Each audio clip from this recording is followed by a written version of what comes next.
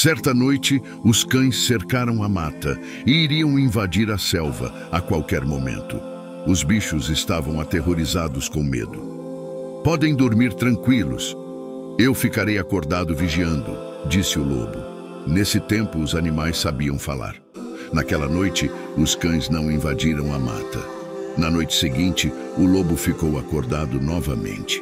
Ele sacrificou várias noites de sono para proteger os colegas que dormiam tranquilos sob sua guarda segura.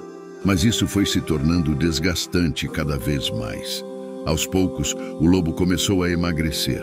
As olheiras em seus olhos e a lentidão que o lobo se movia mostrava claramente seu esgotamento físico. Chegou o ponto que o sono lhe roubou, e nessa hora os cães invadiram e sequestraram a cutia. Soltaremos ela se nos entregarem um animal maior, disse os cães. Os bichos se reuniram para escolher algum animal que não iria fazer muita falta.